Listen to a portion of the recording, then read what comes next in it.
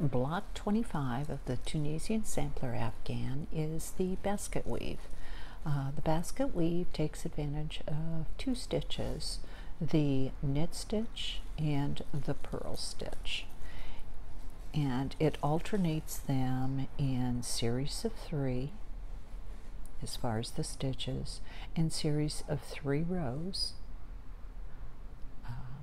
with each starting the same. And then on the alternating rows, we start with the purls. So you'll start with the knit stitches here, purl, knit, purl, and you just go all the way across and back.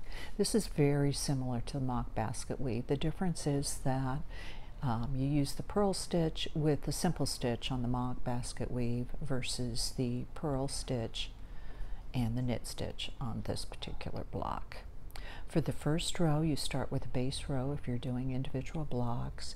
If you're adding, like I am here, where I just add the block onto the sashing and continue on, um, you do a simple stitch row. Then you start your pattern.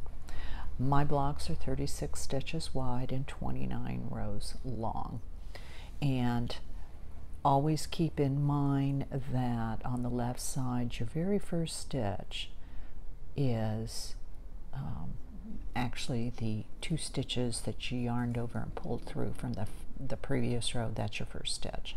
So here you're actually going to count that as one, then you do two knit stitches, then you go to the three, three, three, three, all the way across.